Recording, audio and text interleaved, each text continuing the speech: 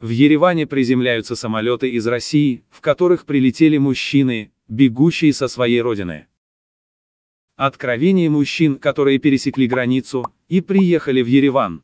Уставшие и взволнованные, допрошенные на границе и пристально осмотренные. Вот что они рассказали. И секрет, какая у вас э, категория военного билета? А, ограниченно годен категория В. В военном билете категория В, но, насколько я понимаю, сейчас такая ситуация, что там вообще гребут всех подряд. Границы задавали какие-нибудь? Да, да, задавали. Ш- Что спрашивали?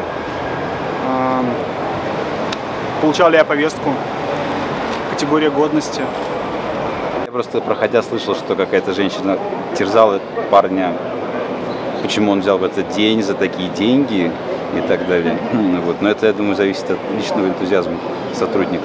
Есть прям э, знакомые, которые получили повестку. э, я вот не знаю, только почему-то вот у очень, очень как-то у нас получается, что страх сказать что-то против очень пересиливает страх смерти. Я вот этого не А. понимаю. Вот, как бы, и все как таким, таким небольшим стадом идут, и никто даже не возмущается.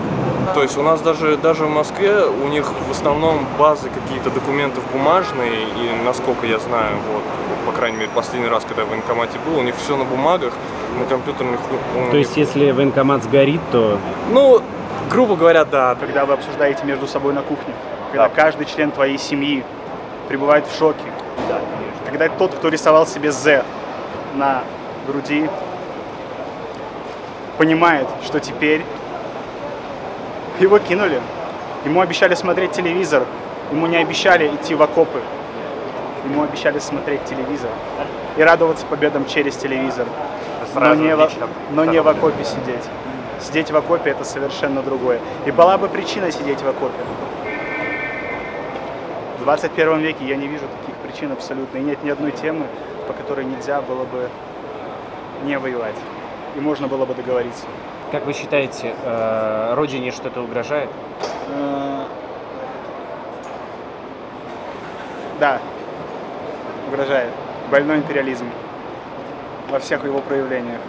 Его не должно быть вообще. Ну, в общем, ей угрожает Путин, естественно, со всеми своими соратниками. А так, извини, я думаю, нет.